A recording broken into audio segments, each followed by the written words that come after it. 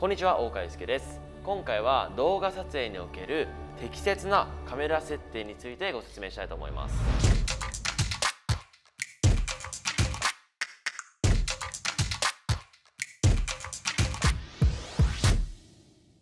まあ、今ここに、えーと、GH5 があるんですけど、まあ、今ね僕の周りでもその、まあ、例えば GoPro とかを使っている方から、まあ、一眼レフにね、えーと、乗り換える方が結構多いんですけどやっぱりその一眼レフを買ったはいいもののどういった設定で動画を撮影すればいいのかっていう方の声がかなり多かったので今回はそういった感じの動画を撮らせていただきたいなと思っております。まずですね、えーと、今回この GH5 ですと,、えーとまあ、やっぱりその動画、まあ、写真も動画もそうなんですけど重要になってくるのがこの3つ。例えば ISO 感度と呼ばれるものと F 値と呼ばれるものとシャッタースピード。この3つで、えーと、動画とか写真っていうのは成り立っています、はい、この、えー、3つのバランスを適切な設定にすることによって映像表現の幅もかなり変わってくるのでこの、まあ、最低のねこの3つの基礎的なえーと、知識とか設定とかをご説明したいなと思っております。分かりやすく言うと F 値っていうものがボケですね。絞りと呼ばれるものなんですけどボケを作り出すもの。でシャッタースピードっていうのが何十分の1の確率でシャッターを切るかっていうもの。で ISO 感度と呼ばれるものは明るさとなっております。今この3つの、えー、ご説明を簡単にしたと思うんですけど次はカメラ設定ですね、まあ、ちょっと画面でお見せするんですけど記録方式は、えーと、とモブにしております。まあ、映像制作に適した高画質の動画を撮影できるのでこの MOV っていうね形式はおすすめですと。次に画質設定なんですけど僕は、えー、まあ、カメラによっては 4K 撮れるものもあれば基本的には多分60フレーム30フレーム24フレームってあると思うんですね。僕は、えー、基本的にフル HD の60フレームにしております。これも他の動画でご説明したと思うんですけどフレーム数っていうのは1枚1秒間の動画に何枚の写真が入っているかっていうことなんですね。それが24枚だとよりシネマティックな表現ができる。30フレームだと1秒間に30枚なのでテレビと呼ばれるもの、まあ、人間の視覚にすごく近いものですね。で60フレームっていうのが1秒間に60枚の写真が入っているのでぬるぬる動画と言われるものとなっております。で60フレームで撮ることによって、え、30フレームのシーケンスに入れますと2倍速ですね。2倍のスローモーションをすることができるのでより映像のね演出の幅も広がるので僕はこのフル HD の60フレームで撮ることをお勧めします。こういった感じで、まあ、記録方式と画質設定っていうのはしっかりとできましたと。あとはこの3つのねえー、っとまあ ISO 感度とシャッタースピード F 値の調整になってくるんですけど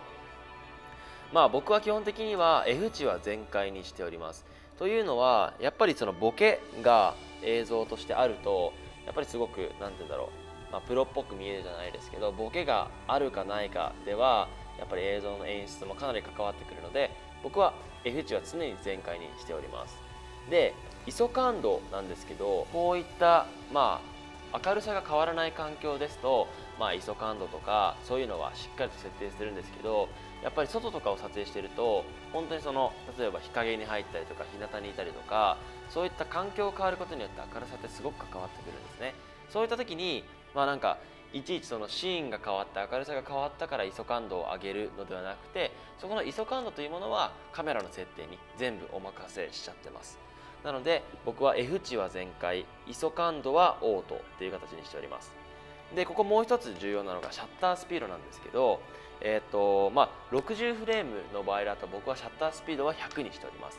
これもなんかそのすごく面白くて東日本エリアでは蛍光灯っていうのが1秒間に50回の間隔で、え、っと光っていてその間隔とカメラのシャッタースピードを合わせないとフリッカーって呼ばれる現象が起きてしまうんですね。フリッカーという現象になった方は結構いると思うんですけど、えー、夜間を撮影してるとねなんかチカチカしたものがすごく出てくると。それって光の発光している数とシャッタースピードのね数がいい感じに合っていないのでそういった現象が起きます。それを解消するためには60フレームの、まあ、100分の1ですね。これがおすすめです、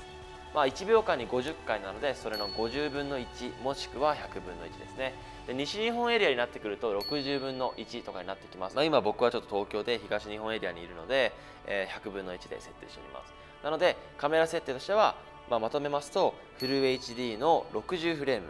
で F 値は全開のシャッタースピードは100分の1に統一。で ISO 感度はオートっていう流れが、え、基本的には多いです。ただこの設定を改正の時に撮影しますとかなり明るいので白飛びしてしまうんですね。そういった時には、まあ、ND フィルターっていうものをつけて少しあの光をシャットさせることによってこの、まあ、一番あの適しているまあ、3つのね設定にすることができるのでちょっと明るい場所とかでも、えーと、しっかりと設定を保ちたい方は、えー、ND フィルターっていうのも検討していただければなと思っております。で補足として、えーと、色味なんですけど、いろいろとねあのラットとかカラーのお話をした時にログ撮影っていうものを推奨しているんですけどやっぱりその映像を撮る時にねカメラっていうのは人間の視覚色味に一番近いものを自然と当ててしまってるんですね。そうすると一度当ててしまったものに、えー、カラーをね上からのせるとやっぱりその二重にカラーリングすることになるのでやっぱり色が入りづらいっていう現象が起きるんですね。でログ撮影をすることによって一旦その色っていうものを全部抜いた状態で編集するのでカラーリングがしやすいということなのでカメラ設定とか3つのね調整はもちろんなんですけどログ撮影というものも意識して撮影していただければなと思っております。はいそんな感じで、えー、っと一眼レフにおけるカメラ設定のえー、仕方についてご説明したと思うんですけど、えー、こんな感じでね是非一眼レフっていうものもう少し、まあ、ハイスペックな機材を使っていろいろと自分の映像表現に、え還元していただければなと思っております。はいそんな感じで本日も以上となります。本日はどうもありがとうございました。